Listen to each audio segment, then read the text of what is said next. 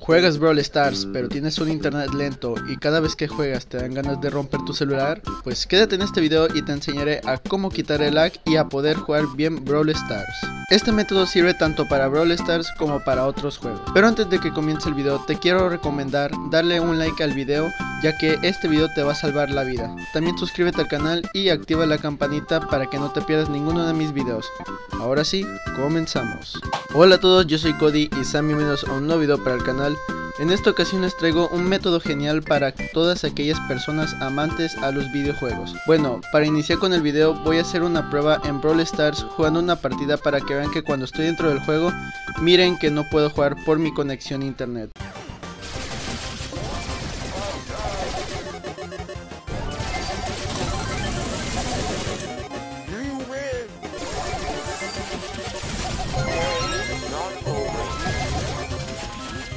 Ya que viste cómo va mi conexión a internet, ahora vamos a ver el método que les tengo preparado para que jueguen bien Brawl Stars y sin mal conexión a internet.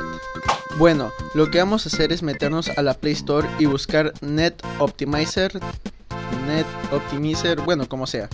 Esta aplicación es una VPN que sirve para que te conectes a un servidor donde haya una mejor conexión a internet. Eso no perjudica a su internet ni a su celular.